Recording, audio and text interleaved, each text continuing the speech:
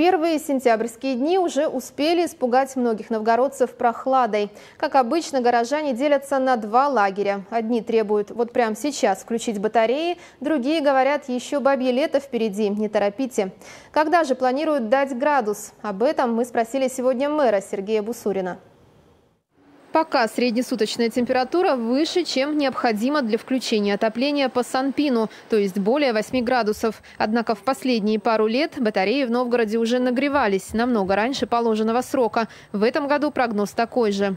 Влажность высокая у нас, и вот эти нормативы, они немножко как бы не соответствуют внутренним ощущениям новгородцев.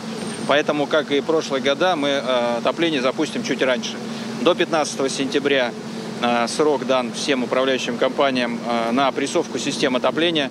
Что касается социальных учреждений, практически все полностью готовы к отопительному сезону. Отстают только школы. Принимать тепло готовы 90% из них. В любом случае, если бабье лето не порадует потеплением, то после 20 сентября вместо солнца нас согреет центральное отопление.